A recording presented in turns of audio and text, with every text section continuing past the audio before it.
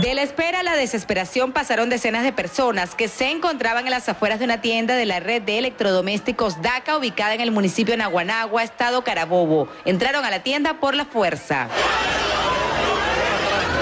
Previamente, el presidente de Venezuela, Nicolás Maduro, había acusado a los dueños de DACA de especulación. Yo he ordenado inmediatamente la ocupación de esa red y sacar los productos a la venta del pueblo a precios justos, todos los productos, todos.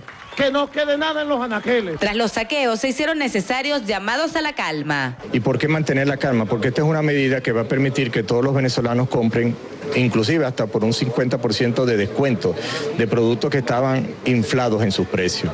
Pero eso no significa que la tienda va a funcionar solamente este sábado y domingo. Este es el ambiente que se vive en las afueras de una de las tiendas de la cadena de electrodomésticos DACA. Decenas de personas se han sumado a largas filas con la esperanza de adquirir algún producto para el hogar a precios más bajos. La magnitud de las personas eran impresionantes, las colas, era como el fin del mundo. Una nevera está saliendo la más baratica en 30, 40, qué sé yo.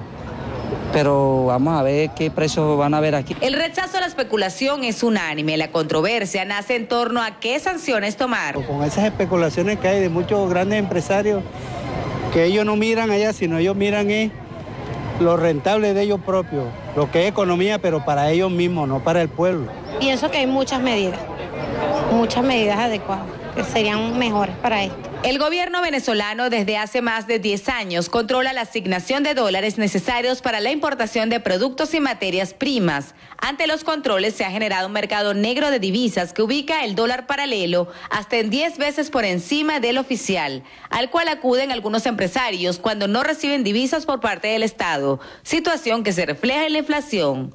Para CNN, Osmar Hernández, Caracas.